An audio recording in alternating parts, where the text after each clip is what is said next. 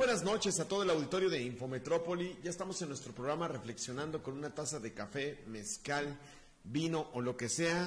Y siempre me acompaña el licenciado Marco Antonio Aviña Kik en este programa. Licenciado, muy buenas noches, ¿cómo estamos? Buenas noches, Rolando, buenas noches a todos. Pues bien, además aquí haciendo una última revisión de temas y, bueno, poniéndonos al, día para estar también en contacto con las personas que nos hacen el favor de sintonizar, de estar aquí con nosotros.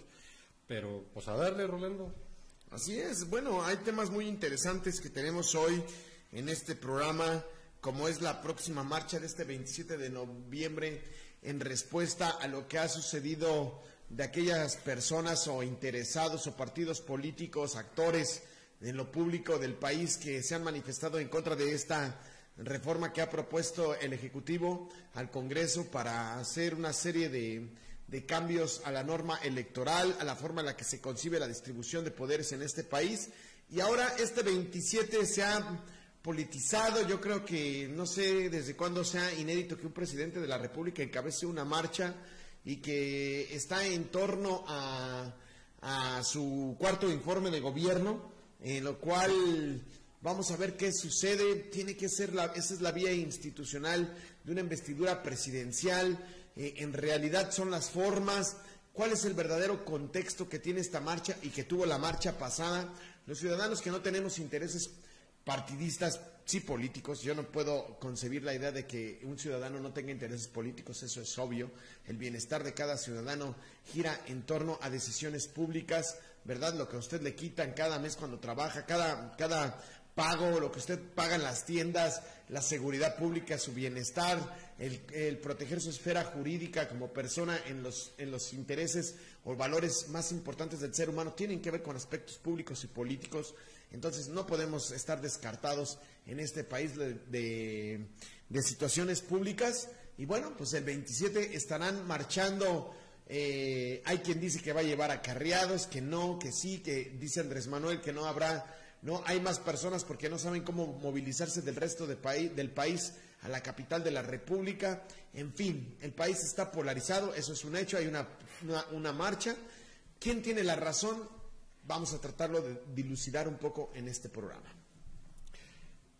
El, eh, el, argumento de que están polarizando al país lo usan como si fuera una cuestión de miedo. La polarización, Rolando, está desde hace muchos años, desde que hay una separación de, ricos, clase medieros y pobres, y gente que está en el lumpen, en, la, miseria, y otros que viven en la opulencia económica, pero en la miseria humana. Esa es la parte más peligrosa, los, eh, extremos de, la sociedad en cuestiones de calidad de vida, los que tienen todo y a los que les hace falta todo, los que tienen hijos que, que tienen todo y desperdician todo, y los que tienen hijos que no tienen ni siquiera lo más elemental para disfrutar, aunque sea una niñez, con justicia. Los que desperdician alimentos y los que los andan recogiendo de la basura o que incluso ni siquiera eso alcanzan. Esa, esa polarización está desde hace muchos años en el país. La cuestión que se ha logrado, y me parece muy sano, es elevar a un, a un nivel de todos los ámbitos la palabra política. Decían que no se hablara de política, de religión y de fútbol. Todo el mundo habla de política ahora, todo el mundo habla, ahorita tenemos ya un mundial ahí en Qatar, y todo el mundo habla de religión. Y a pesar de las diferencias, hemos ido madurando y entendiendo que no somos un pensamiento homogéneo, no somos un, grupo social eh, humano con un pensamiento único. Esto nos va permitiendo romper los paradigmas, romper los tabús con los que nos formaron y abrirnos a aceptar que hay otras formas de vivir otras formas de convivir, otras formas de pensar el mundo. Tan es así que no tiene nada que ver con, esto, pero es un ejemplo de cómo ha ido cambiando la sociedad. Hace muchos años, ni tantos, era extremadamente mal visto, lo digo entre comillas, el comportamiento de, de, homosexuales. Luego, en los años 70 más o menos comenzaron a hablar de tolerancia. Y después de la tolerancia, la convivencia, la aceptación y ahora el respeto. Y salen a la calle a manifestar sus preferencias y exigir que, que les sean respetados se ha incluso normativizado, han alcanzado letras constitucionales y, bueno, no hay por qué escandalizarnos. Habrá quien no nos parezca, pero tenemos que respetar. A lo mejor no nos parece por muchas condiciones, por muchas situaciones, pero eso no significa que deban desaparecer esos grupos. Tenemos que aprender a respetarlos. En política es algo muy, muy similar toda proporción guardada en política se está buscando la transformación de la realidad, la construcción de una sociedad con sus valores, con sus limitantes, con sus libertades. Y cada partido prospecta un modelo de nación a partir de lo que entiende del texto constitucional. Entonces usa el texto constitucional como punto de partida, como plataforma, y a partir de ahí prospecta un, proyecto de nación.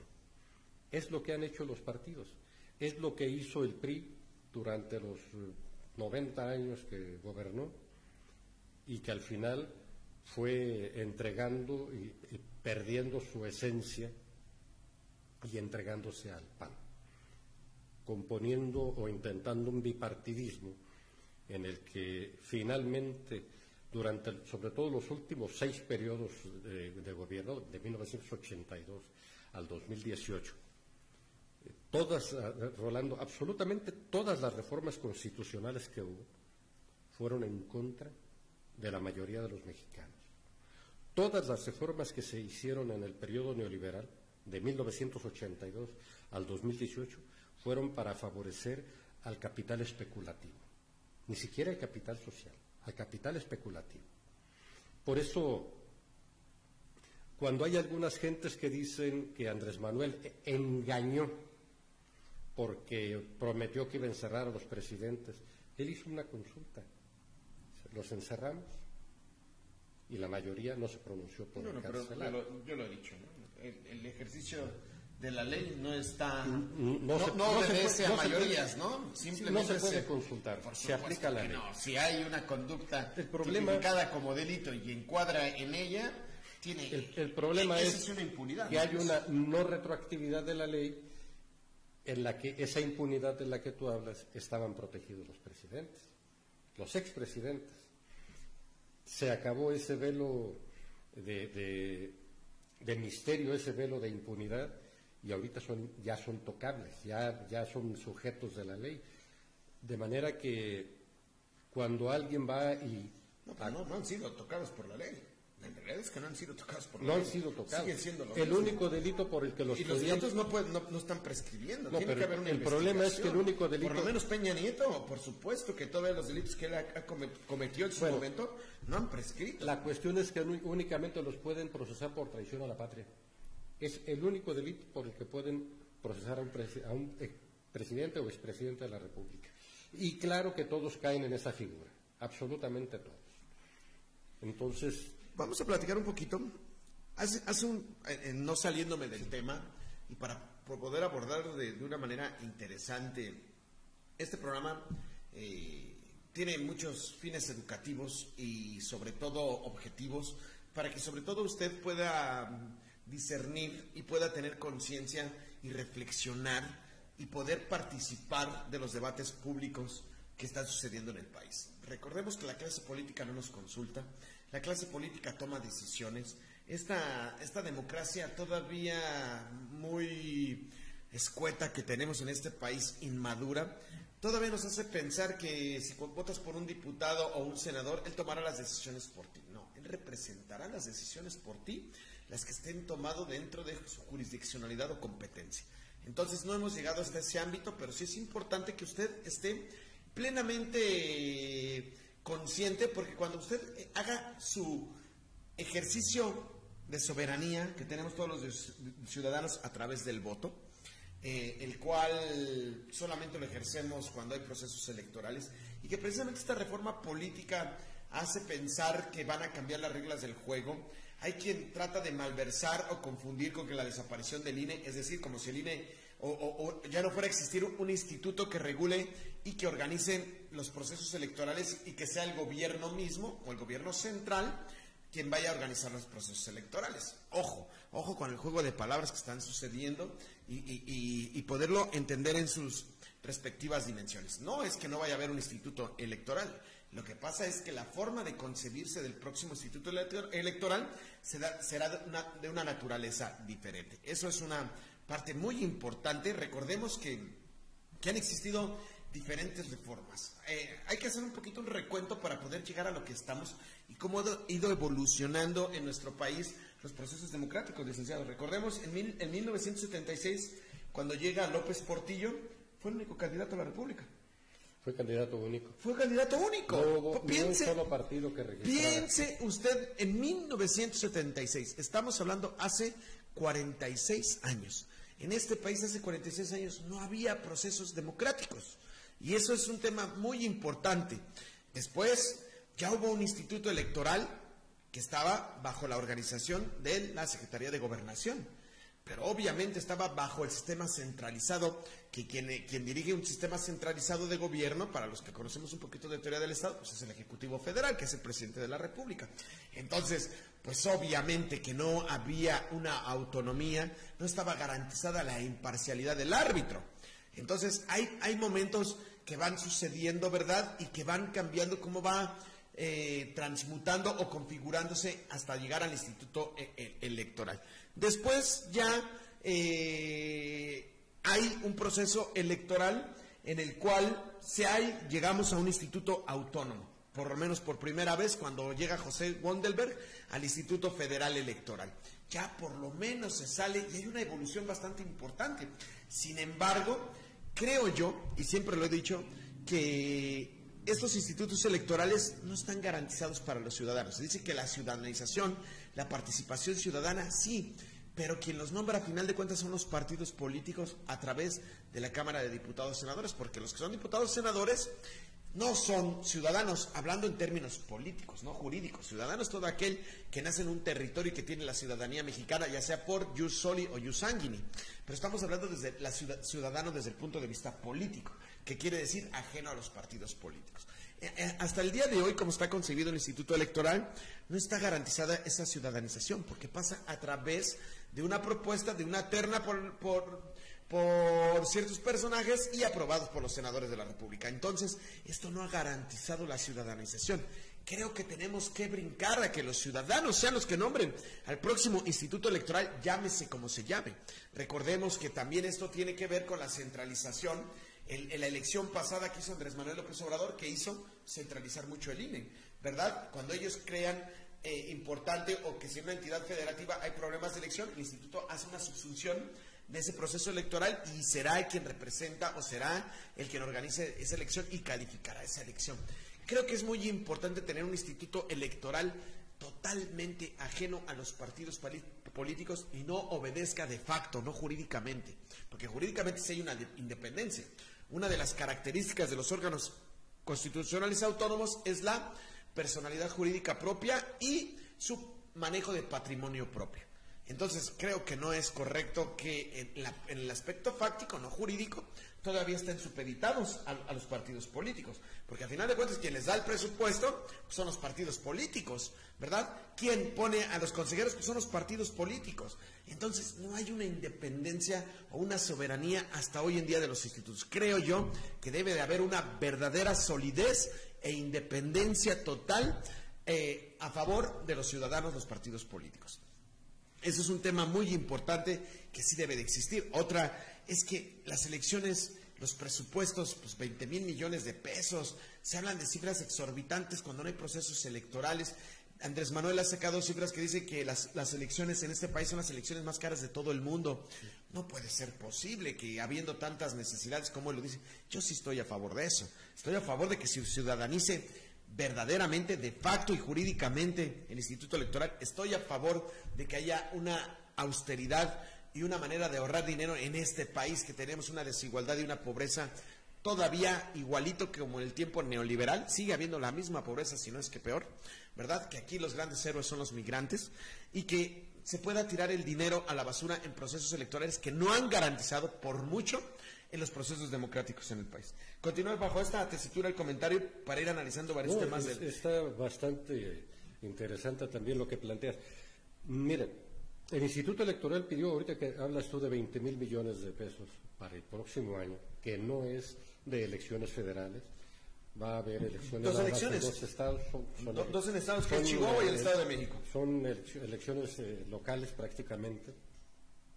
Entonces, el, Congreso de la Unión, bueno, ya ahí aplicaron una, una fórmula y le tumbaron cuatro mil millones de pesos. Porque el, el, argumento del Instituto Electoral es de que tiene una infraestructura tal que ya se volvió muy cara, una carga tremenda para, para para el presupuesto federal. Tan es así que la sola oficina de Lorenzo Córdoba, que es el presidente consejero, el presidente consejero, está pidiendo 68 millones de pesos, déjame dar con precisión, 189 mil, 68 millones 189 mil pesos. Eh, ¿Por qué? Porque hay consejeros que ganan arriba los 300 mil pesos y hay asistentes de esos consejeros o secretarios de los consejeros que ganan de 50 a 60 mil pesos mensuales. Y que son simplemente, ni siquiera son funcionarios del gobierno federal, son funcionarios de un órgano descentralizado, que dijimos en el programa anterior que tiene que entregar cuentas a la Auditoría Superior de la Federación.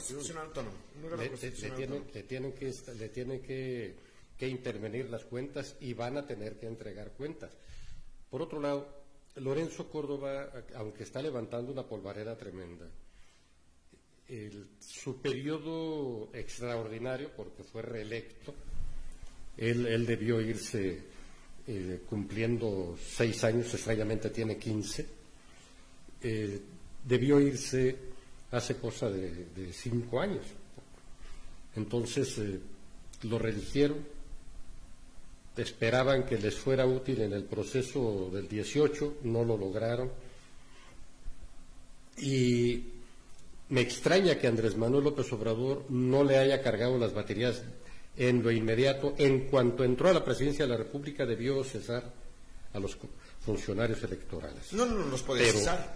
Porque por eso es un órgano constitucional autónomo. Pero si hubiese. Debió ver la manera, todo lo que están haciendo ahorita ah, de denunciar esos a través de reformas constitucionales. y, de, la Cámara de, Diputados, bueno, entonces decir, a ver, vean cómo está esto, revisen, analicen y actúen en consecuencia. La marcha que hubo, bueno, termino la idea. Lorenzo Córdoba termina en abril, en abril próximo, o sea, en cinco meses, cuatro meses, termina su actuación. Entonces, eh, no tiene opciones, no hay para dónde hacerse. El problema es que lleva fondos de, apoyo para, su retiro, lleva muchas compensaciones, millones, millones de pesos. Eh, contrataron servicios seguros médicos muy onerosos, para lo cual él ya no está facultado, porque va de salida. Pero, sin embargo, tomó la decisión y metió mano a la, cartera del Instituto Electoral, el Tribunal Electoral no se queda atrás. Entonces, hicieron ellos, ellos y la organización X, eh, X González, por supuesto. Eh, hicieron una convocatoria a una marcha que hubo hace días, el domingo pasado. Hace dos domingos perdón, sí, hace dos domingos, eh, hacen una marcha para defender al Instituto Neoliberal Electoral. ¿Defenderlo de qué? ¿Qué le están haciendo? Nadie le está haciendo nada. Que lo van a desaparecer. Tú ya hiciste una buena introducción sobre el tema. No, no va a desaparecer el Instituto Electoral. Van a cambiar sus funcionarios. Van a cambiar algunas de sus funciones. Incluso se le va a ampliar. Pero van a abaratar su, su costo. Pero bueno, vamos a hablar un poquito ahora del tema político. Parece ser que esta reforma obviamente en el proceso electoral pasado no obtiene la mayoría calificada que se requiere para este tipo de reforma constitucional, que es la mayoría calificada, tres cuartos partes del Congreso. Es decir, Morena no controla el Congreso hoy en la actualidad y tendrá que hacer alianzas con otro partido grande que era el PRI. Se hablaba que Alejandro Moreno, que con famoso conocido como Alito, que es el presidente del PRI, ya estaba con Morena porque había una componenda política, ¿no? Una componenda de que creo que es un personaje bastante corrupto y que tiene muchísima cola que le pisen y creo que tendría que estar tras las, rejas por ser tan nefasto y ser tan corrupto por las llamadas que han salido de cómo compra carros de lujo como si estuviese comprando chocolates, como yo creo que una persona en este país o por lo menos en la región quisiese ir a comprarse un kilo de birria a Santana no la puede cobrar porque casi vale 500 pesos, él compró dos carros de lujo así por teléfono como si fuese a comprar menos que una barbacoa de chivo un domingo aquí en La Piedad, ¿no? Entonces, eh, un sujeto de esa naturaleza, pues debería estar en las cárceles. Y bueno, parecía que se había aliado con Morena para tener las tres cuartas partes del Congreso que se requiere para hacer una reforma constitucional. Todo parece ser que se va a caer y que ahora eh, está planteándose un plan B para hacer una reforma a una ley secundaria. que es una ley secundaria? Pues que no es una reforma constitucional, si es una, es una ley general, ¿no? Hablando en esta famosa pirámide de Kelsen de la supremacía de las normas, ¿no? Entonces, eh, ¿hasta dónde puede tener el alcance esta reforma? ¿Hasta cuánto? ¿O qué significa ahora una marcha? Como nosotros como ciudadanos tenemos que decir, bueno, ¿cuál es el significado de una marcha? ¿Cuál es esta postura? ¿Es una postura jurídica? ¿Es una postura política? O es una cuestión de percepción. Es muy interesante. Lo que sucedió hace dos domingos en una marcha en contra creo que fue un verdadero fiasco para estos grupos políticos que, han querido, que creo que por lo menos con inteligencia se han equivocado en el discurso.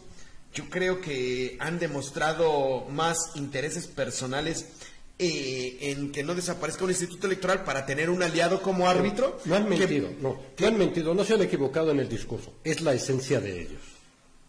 Es la esencia. Digo, no les interesa para ser atractivo. No les interesa el Como proyecto político ser atractivos, tener un discurso diferente. Creo que se siguen equivocando en, este tema.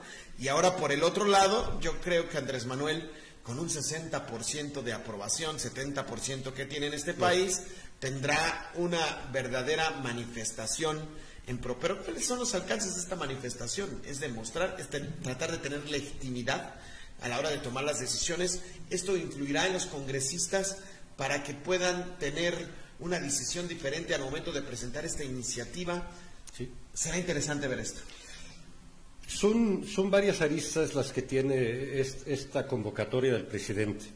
Primero, yo no sé de dónde, de, si son realmente en el momento que hace el anuncio es que lo pensó o llega ya preparado durante la madrugada, está urdiendo cómo va a hacer las cosas.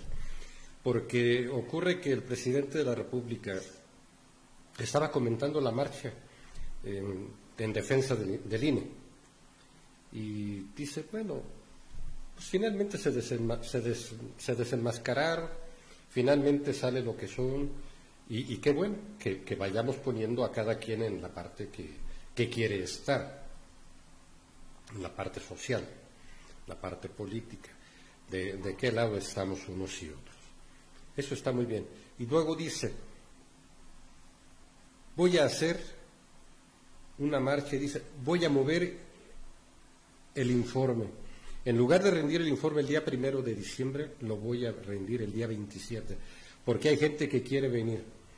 Y estoy, en este momento, estoy convocando a una marcha, vamos haciendo una marcha y, vámonos del, ángel al zócalo. Bueno, ahí va ya la convocatoria, pero dice el Congreso, oye, no puedes dar un informe así. ¿Por qué? Porque el informe es una norma. Para tú dar un informe constitucional necesitas habilitar un recinto oficial. No se ha hecho ningún trámite de esa naturaleza, de tal manera que no puedes rendir tu informe constitucional ante el Zócalo, aunque sea la plaza y el corazón de México.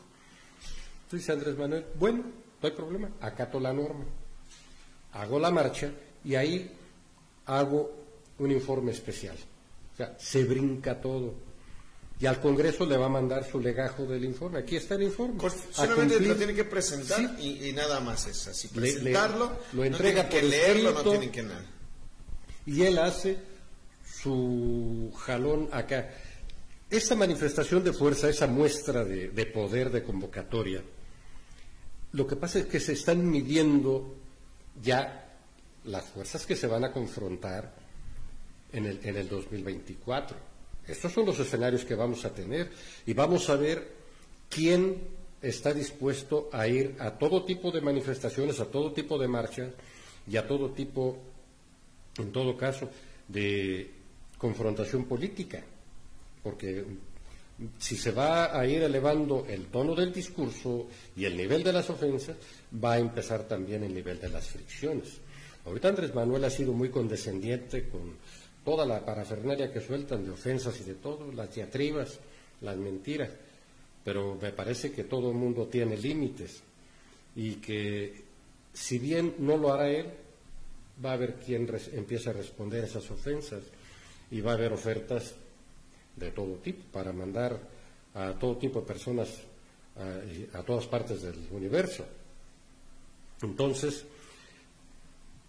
aderezando un poquito esos escenarios, el 27, el próximo domingo 27, es la, marcha de Andrés Manuel, un informe a la concurrencia, un informe preliminar a la Nación, el informe constitucional al Congreso de la Unión.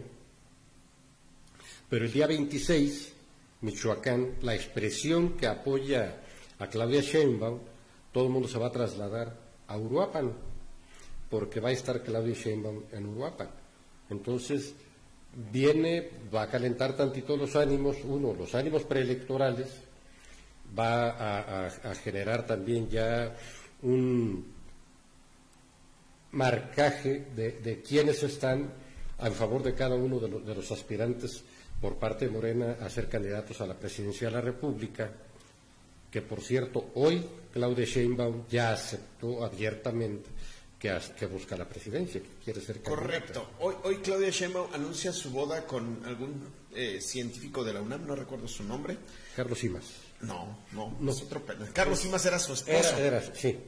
Carlos, esos corruptazos que aparecieron con dinero en la bolsa públicamente con los vejaranos, ese era su esposo de Claudia Sheinbaum. Sí. Eh, y bueno, al final de cuentas tiene un divorcio y se va a casar con un científico de la UNAM, el cual no recuerdo su nombre, pero dentro de ese marco anuncia que sí, que, verdaderamente sí está buscando la presidencia de la República. Entonces, después de este anuncio y que venga Michoacán a Uruapan, tendrá mucho que decir. Recordemos que hay tres famosos o tres interesados en buscar la presidencia de la República. Uno es Claudia Sheinbaum, Marcelo Ebrard, que es el secretario de Relaciones Exteriores, y César Adán Augusto, un secretario de Gobernación que de verdad creo que, ha dicho cosas muy bastante estúpidas, debo de decirlo. Creo que ha sido un hombre que lejos de llevar una política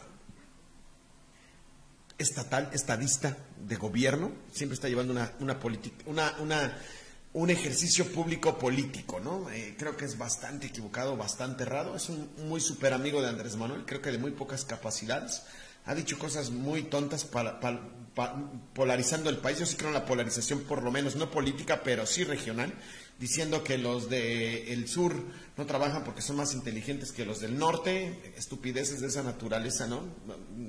Atendiendo cosas, cosas de estas, eh, en los cuales eh, Jesús María Tarriba, se llama el futuro. Eh, gracias, gracias ahí a nuestra producción. Bien, Lupita, bien.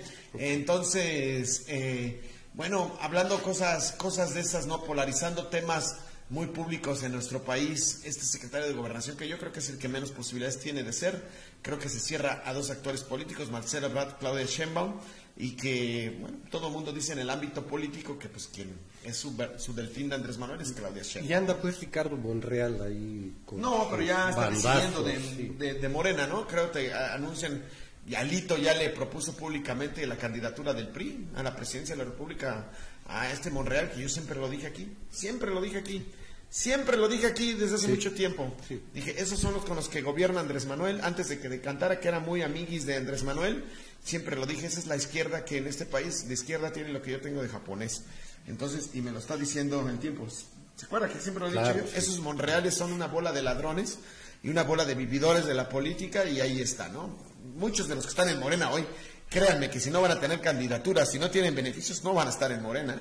Eso se lo puedo asegurar y se lo puedo asegurar que hay muy poca gente que tenga una ideología social. Pues eh, si se cambia en la estructura del Instituto Electoral, eh, ahorita eh, voy a retomar un poco lo que tú dijiste. Hasta 1976 fue Comisión Federal Electoral. La manejaba Gobernación y, consecuentemente, era un brazo de, político del presidente de la República. En 1977 entra una, reforma política de Jesús Reyes Heroles, abren registro varios partidos, incluso el Partido Comunista Mexicano sale de la clandestinidad, adquiere estatus legal, el PPS, el Partido Demócrata Mexicano, Partido eh, Socialista de los Trabajadores, luego el eh, el Partido Auténtico de la Revolución Mexicana, Partido Demócrata Mexicano, el PAN, el PAN que fue un partido bueno pues este, formado para atacar todo lo que significara la política del general Lázaro Cárdenas y atacar todo lo que signifique la izquierda, partido ultraconservador, nazifascista. Eh, todos sus partidos se abre el espectro, el espectro político, ideológico, y aún así no se logra eh, avanzar porque seguía bajo control de la misma Comisión Federal Electoral. Es hasta 1994 que viene un proceso llamado de ciudadanización. Ya surge el Instituto Nacional Electoral con José Woldenberg, que hacen un papel incipiente, más o menos ven las cosas, eh, adquirieron cierta jerarquía, cierto poder, cierto prestigio, pero lo dilapidaron.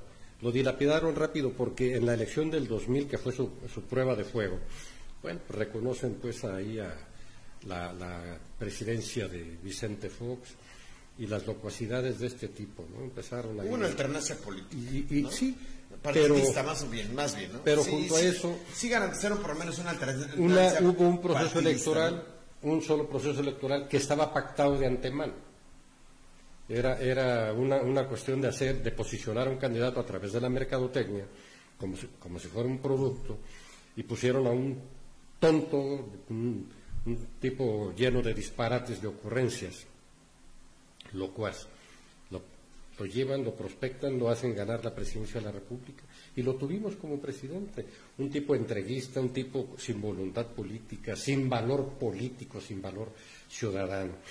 ¿no? Nada más un tipo con un tamaño enorme y una, voce, una vocesota y, con botas que llamó mucho la atención por su arrojo. Pero dicen en Santa Fe del Río tenía arranques de caballo y paradas de burro. No, ya un burro cuando se traba no lo haces caminar por nada. Entonces, igual Fox, un papanatas, pues, ¿no?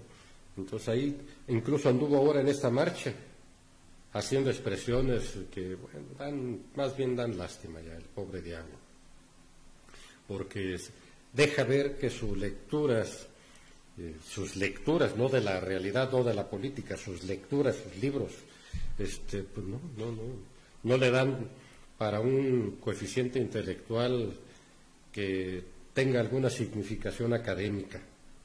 Entonces, eh, allá quien lo quiera tomar en cuenta. Ese instituto electoral se desploma, meten a, meten a, este Carlos. Carlos Ugalde, al que acabamos diciéndole Carlos Fraude. Y hubo que sacarlo de la jugada y lo metieron luego, luego al mundo académico para protegerlo y hacerle compensaciones económicas porque él operó el fraude eh, electoral para, para la usurpación de Felipe Calderón. en, el 2006, cuando, cuando Felipe Calderón, el de las manos limpias, llegó a la presidencia de la República. Un tipo también deleznable, pero Pues es la historia reciente de nuestro país. Lamentablemente tenemos memoria muy corta, nos borran el cassette, prendes la televisión. Bueno, por eso hacemos este programa. Para que prendes, no se olvide. sí, cuál es el prendes la televisión, te dicen una serie de tonterías y se te olvida todo. O ahorita, por ejemplo, podría alguien empezar a gritar de manera escandalosa gol de México y paren todo lo que estén haciendo. Se acabó. ¿Por qué? Porque nos han inculcado una cultura deportiva que como deporte, buenísima. Pero llegar a un fanatismo de andar, ya he dicho yo, un montón de cavernícolas corriendo tras un cuero lleno de aire, pues yo no le veo nada inteligente. Al- Alguien dice que es el amor más inexplicable del fútbol. Pues sí. Digo, Habrá- eh, habráse visto. Hablemos eso un poquito. Yo sí he estado analizando el tema del fútbol desde un ámbito público también, ¿no? Yo Este- creo que no. Esto está haciendo daño, Rolando. Hoy, hoy nos dieron pulque, ¿eh? Hoy nos estamos tomando un rico pulque, claro que sí, un pulque de tuna. Aquí estamos tomándonos un fermentado, un de la diosa Mayagüel, ¿verdad? De eso Vamos. que tomaban para poder. Vamos a andar como los teporochos al rato. Así es, así es. Ese, ese pulque que tiene una historia en México verdadera y la verdad que está bastante delicioso. Nos estamos tomando un pulquito. La expresión de hasta las manitas, ¿verdad? Correcto. Entonces, bueno, Bueno. viene la inauguración del Mundial, el Sí. mundo se para en torno a un balón y siempre lo digo yo que el beso más puro es cuando el balón toca las redes y se vuelve el amor más inexplicable. Yo soy un fanático del fútbol, debo decirlo, me encanta el fútbol. He dejado de seguir el fútbol porque el fútbol es más corrupto que la política. En verdad obedece a dineros. Se habla de Qatar, de cosas que cómo compraron el mundial estos jeques que tienen todo el dinero del mundo, cómo explotaron a migrantes para construir los estadios. Es, verdaderamente tras el fútbol hay una corrupción, pero que a final de cuentas cuando todo se centra al rectángulo se vuelve bello. Y el país se paraliza porque muchos dirán, bueno, es una distracción, es el circo romano para distraer, ¿verdad? Para que la gente pueda sacarse euforia y puedan ser controlables socialmente. Pero a final de cuentas yo creo que nada más, no nada más de pan vive el hombre. Y el mexicano, que tenemos una idiosincrasia, que tenemos una cosmovisión muy diferente, nacionalista, que llega muchas veces a rayar el, el- eh, a- al tema de la del pa- patrioterismo, no, patri- no, no patriotas, sino patrioterismo, de nada más gritar viva México, cabrones, pero que nada haces por el país, ¿no? Eh, Puede rayar en eso, pero que a final de cuentas creo que tenemos muchos gritos ahogados en el pecho del mexicano y que por lo menos en el fútbol lo podemos sacar. Y que a final de cuentas el mexicano tuvo alegrías con ese penalti, sí, porque nadie más nos da alegrías. El tema público no nos hacen que nos dé alegrías. Nadie puede salir libremente, ¿verdad? Nadie puede salir con su familia a lo mejor a poderse comprar cosas, poder comprarse unos churros, porque la economía está muy difícil, porque nos tienen con el pie aquí los de Coppel, los de Electra, porque la gente tiene que salir a trabajar al otro día, porque estamos llenos de, de adversidades, pero que por lo menos podemos gritar una parada de un penalti o un gol libremente a, los cuatro vientos y que también es necesario. Desde mi punto de vista, que estoy diciéndolo, que no es lo único ni lo más importante, pero que sí es necesario. Es un catalizador y es un distractor. Es un catalizador porque toda la inconformidad acumulada, toda la energía de inconformidades que no le puedes reclamar al jefe, de- al jefe laboral, al jefe político, a los funcionarios, al presidente municipal, a los diputados, al gobernador, al presidente de la República. Todo lo que no puedes hacer contra algún acto de autoridad, lo haces ante el televisor, te pones ahí a gritar, a desahogarte, a mentar madres, literalmente, pues muy, muy, muy mexicano andar mentando madres. Entonces, todo eso es una válvula de escape. Te quita presión, te desahogas y quedas listo para seguir con tu rutina laboral. No sales de donde estabas, incluso a veces vas y te endeudas más, compras una camiseta de la selección nacional, que por cierto andan en dos mil y tantos pesos, las de más o menos, más o menos. 1.700 a Sí, 2.000 sí, pesos, y la de aficionados. es- Entonces, eh, pues eh, tienes que andarla pagando por ahí, ver cómo, cuántas cervezas menos a la semana para cubrirla, ¿no? O cambiar un poquito la dieta de la casa. hacer ahí algún tipo de maromas económicas. Es sano, además, está bien, pero el distractor político es que te saca de los verdaderos problemas. El fútbol no resuelve ni uno solo de los problemas de la existencia del ser humano. Y, lamentablemente estamos hechos, los seres humanos, de una cuestión de esperanza, de construir un futuro, y todo mundo nos cobra, nos vende, nos ofrece un futuro, pero en base a sacrificios, a trabajo. Cuando que la esencia del ser humano es el mayor beneficio con el menor esfuerzo, pero la esencia del capitalismo, sobre todo el capitalismo salvaje, es la explotación al máximo con el mínimo, la mínima retribución. No hemos logrado equilibrar una economía para que todo el mundo viva bien sin tener que llegar a viejo en la miseria. Lamentablemente, muy pocos son. Y ahí entran esos esquemas tan criticados por los segmentos estos que vinieron a defender al INE de los programas sociales, en los que, por cierto, participan.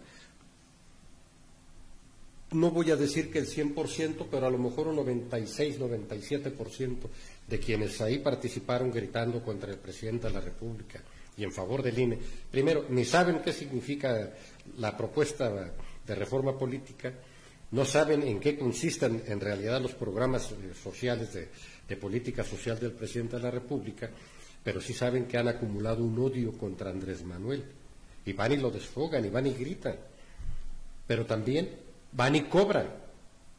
Es que la verdad es que la realidad es que somos un México clasista. Y somos un México clasista. Creer que estamos en contra de los pobres, piensas que que no formas parte de los pobres, aunque formas parte de los pobres. En realidad es que queremos el estatus. El ser humano siempre busca el estatus. El mexicano quiere tener el estatus. Aunque esté endeudado, aunque en su casa duerma en un colchón que le sale los alambres, pero quiere tener ropa de marca. De 30 años. Eh, eh, eh, correcto. Entonces, eso creemos que estar en contra de alguien que está aplicando políticas, yo os lo he dicho en este programa, no que solucionan el problema, son simplemente paliativos. No está tomando las decisiones más importantes, pero por lo menos las está tomando, las que esté tomando, ¿no? Y alguien ni siquiera las toma. No estoy diciendo que sean las correctas, yo creo que no ha hecho las correctas. Hemos dicho en este programa cuáles pueden ser las correctas, pero por lo menos está haciendo algo. Y entonces, quererme poner en contra de eso, parece que me da estatus, aunque tú seas el que lo necesitas, ¿no? Y, o mucha gente, o creo que la gran mayoría, es porque ha vivido de ese sistema, tiene intereses personales en ese sistema. Resultan afectados. correcto, hay una afectación directa a su status quo o a, las cosas que lo han mantenido eh, dentro del el ámbito público para poder subsistir. Esas son las cosas. Aquí en realidad yo me gustaría invitar mucho a los ciudadanos que observen la información que se está dando. ¿Dónde viene la objetividad? ¿Quién te la está diciendo? ¿Por qué la está diciendo? Analícen ¿verdad? ¿De dónde viene esa información? Para que podamos decir es correcta o no es correcta, porque hay una sobreinformación y hemos puesto en este programa las dos eh, posturas que han habido, ¿no? Estos están a favor de esto porque Andrés Manuel es esto y Andrés Manuel ha puesto esto y es. Acá estamos hablando como ciudadanos. En lo personal, yo no tengo intereses de ninguno. Para mí lo mismito Morena que PAN, PRI, PERDE son diferentes maneras. A final de cuentas no solucionan nada. Seguimos siendo un país pobre, seguimos siendo un país desigual, seguimos siendo un país con un problema en la educación, seguimos teniendo grandes problemas en la salud, seguimos teniendo grandes problemas con la pobreza, sigue encareciéndose la canasta básica, la alimentación, cada día se vuelve más difícil vivir en este país. No ha habido solución de nada. ¿no? Esa es una gran verdad y que los elementos básicos del ser humano no están garantizados en este país. Entonces, pero que usted sea consciente de estos dos momentos históricos o de estas dos posturas que se están viviendo en este momento histórico. Estas gentes que se manifestaron tienen un interés muy, muy marcado. Y hay que aclararlo. Ninguno de estos, a nivel nacional, ninguno se manifestó en contra del FOBAPROA. Y si son beneficiarios muchos de ellos del FOBAPROA. El fraude más escandaloso en la vida, de la, en, la historia de México, de la existencia. Los pobres rescataron a los ricos para que pudieran subsistir, nada más. para, no, y para que sigan manteniendo un nivel holgado de vida y de lujos y de todo, porque todo lo que debían los ricos lo metieron al banco, lo, a una licuadora y lo repartieron entre todos. ¿Cuántos millones de mexicanos son? Pues que son 100. Nos toca tanto. Con la, el agregado de que los que no han nacido ya les tienen ahí una cantidad pendiente para que paguen. Para que se siga pagando esa deuda. O sea, es absurdo lo que hicieron. Esas legislaturas. Y nadie se manifestó en contra de ellos, ¿no? Ninguno se manifestó en contra de la privatización de la banca nacional. Ninguno hizo una marcha en favor de Comisión Federal de Electricidad. Ninguno hizo una marcha en favor de Pemex cuando vino la, privatización de todo, Mexicana de Aviación o sea, todo lo que han desmantelado del aparato de economía estatal, lo vieron muy bien. O sea, qué bueno que se lo quiten a la sociedad, a la sociedad en su conjunto y que se lo dejen a un especulador en lo, personal. Nadie se pronunció en contra de la privatización de teléfonos de México. Oye, teléfonos de México y todas las empresas en manos del Estado no eran negocios productivos incluso algunos operaban con números eh, rojos, pero pasan a manos particulares y se convirtieron en, empresas exitosas. Y los que no, los quebraron y los recuperó el gobierno.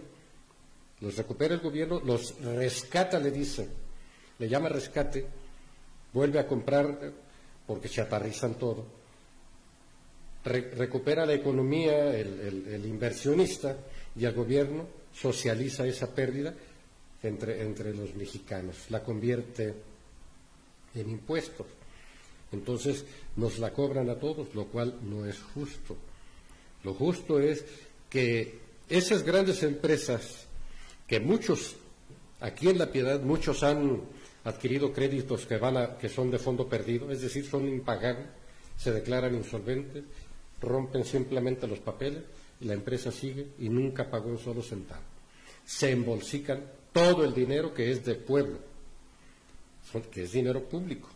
Entonces tienen sus esquemas de cómo hacen ese tipo de negocios y dicen que son exitosos, ¿no? Son sinvergüenzas, son sinvergüenzas, son ladrones, pero nos lo ponen aquí como gente, es envidiable, ¿no? Si todos fuéramos así. Veo, veo a Ricardo Salinas Pliego que se favoreció de una concesión de una televisora como era Imevisión para formar TV Azteca y ahora habla sobre cuestiones públicas, que si la universidad no te da, que ¿Quién es ese pelajustán que ni siquiera tiene un grado académico, que se hizo millonario por un tema de corrupción y que ahora va a tener legitimidad para hablar de temas públicos? Como si fuese un académico formado en los libros y pudiera adquirir o eh, eh, compartir conocimiento sagrado y único, como si fuera una persona ejemplo de éxito. Por supuesto que no es una persona ejemplo de corrupción. Entonces, eh, mucho cuidado de quién está hablando. Por eso hago énfasis e hincapié en este programa que usted se entere de medios verdaderamente que den la cara, de personas que, que por lo menos tengan legitimidad al momento de emitir una expresión o una opinión. Aquí el señor Villa tiene más de cuarenta y tantos años siendo periodista, el cual ha sido de una ideología muy marcada. Su servidor, pues bueno, a lo mejor soy el más el más humilde de todos sus amigos, ¿no? Pero bueno, pues por lo menos doy clases en una universidad y tengo una formación académica y soy una persona que ha sido migrante y que, se dedica al, ámbito público periodístico de hace más de 10 años y que da la cara, ¿no? Entonces, pues es importante de quién emite una opinión y quién lo dice para que usted pueda formar su criterio, licenciado. Pues bueno, creo que algo más que quiera agregar. Se murió Pablo Milanés. Se muere Pablo Milanés, un tema muy importante y después vamos a hablar que el licenciado Viña tendrá una conferencia mañana en la UDL, en la Universidad de, León, hablando sobre, platíquenos un poco, licenciado Marco Antonio Viña. Eh, vamos a estar un poco, no un poco, es una hora con dos o tres eh, grupos ahí de, distintas facultades y vamos a hablar sobre el, entorno político en el México actual y un poco de perspectiva también, haciendo no futurismo, simplemente haciendo, haciendo prospectivas sobre los escenarios de, del 2024. Y obviamente que, debo marcar mi, mi, postura, no voy a engañar a nadie, pero tengo que buscar la manera de un análisis Para que lo sea, pues tiene que dar datos muy duros, muy firmes y, que no son controversiales. A lo mejor no los aceptas, pero eso no hay de otra. Esto es, este es el resultado del análisis. Cuando es una cuestión argumentativa, una cuestión de carácter eh, meramente de opinión, bueno, pues cada quien guarda su opinión. Si entramos al plano del, análisis político, del análisis social, pues se tiene que ser contundente. Científico, ¿no? Basado en, una academia. Sí, no, no, puedes dar pauta a la especulación, no puede haber ahí una, cuestión de carácter especulativo. Y a las 10 eh, de la mañana vamos a estar aquí en la Universidad de, León, ahí con el licenciado Juan Carlos Rodríguez, el director, nos va a, permitir. Pues es, una plática, yo quiero verlo como una conversación ahí con los con, los, jóvenes. Es importante. Es importante que la juventud, fíjese que yo vi... a ver si se me pega algo todavía, Fíjese que hablando de ese tema, eh, vi una, una encuesta sobre la juventud en este país y hablaba que eh, el INEGI en el 2020 hizo una, un estudio que solamente el 73% de los jóvenes tenían intereses en el tema público, ¿no? Estaban interesados en, el tema electoral. Eh, y después, solo el 63% de todos ellos vuelve a, votar y eh, deja de votar, perdón, deja de votar y solamente el 6% cree en las instituciones políticas. Es muy interesante. Solamente en su primer año los jóvenes de 18 años van a votar con, la esperanza de que pueden cambiar este país. Pero cuando se dan cuenta de que no, en realidad ellos no tienen nada, los jóvenes se desinteresan en el ámbito público y solamente el 6% vota. Y después de que cumplen 40 años creen que pueden hacer algo y vuelven a sufragar. Fíjense qué tema tan interesante, cómo la clase política poco ha podido impactar en el tema joven, de los jóvenes, o bien es una estrategia, ¿verdad?, para no involucrar a la gente en los ámbitos públicos. En este país nos hace falta más estar involucrados en temas políticos públicos para poder tener una conciencia y así poder exigir y saber.